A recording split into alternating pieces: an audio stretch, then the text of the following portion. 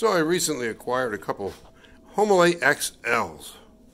One's an XL Auto, another one's a newer XL, built about the same way, just a newer version.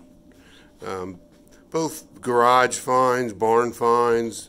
They've been sitting around forever, um, especially this little one right here.